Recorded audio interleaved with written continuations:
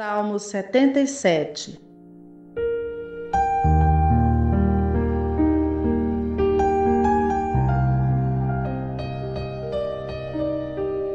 Clamo a Deus por socorro, clamo a Deus que me escute. Quando estou angustiado, busco o Senhor. De noite estendo as mãos sem cessar.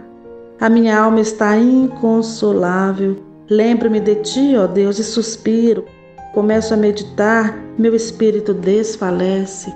Não me permites fechar os olhos, tão inquieta estou que não consigo falar. Fico a pensar nos dias que se foram, nos anos há muito passados. De noite recordo minhas canções.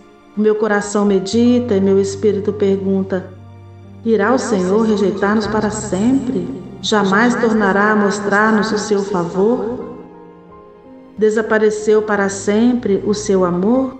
Acabou-se a sua promessa? Esqueceu-se Deus de ser misericordioso? Em sua ira refreou sua compaixão? Então pensei: a razão da minha dor é que a mão direita do Altíssimo não age mais. Recordarei os feitos do Senhor, recordarei os teus antigos milagres, Meditarei em todas as tuas obras e considerarei todos os teus feitos. Teus caminhos, ó Deus, são santos. Que Deus é tão grande como o nosso Deus? Tu és o Deus que realiza milagres, mostras o teu poder entre os povos.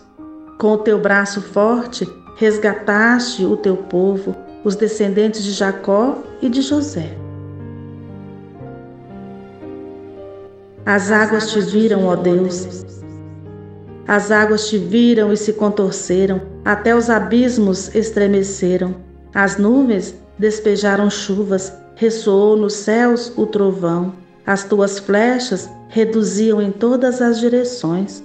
No redemoinho estrondou o teu trovão, os teus relâmpagos iluminaram o mundo, a terra tremeu e sacudiu-se, a tua vereda passou pelo mar, o teu caminho pelas águas poderosas, e ninguém viu as tuas pegadas.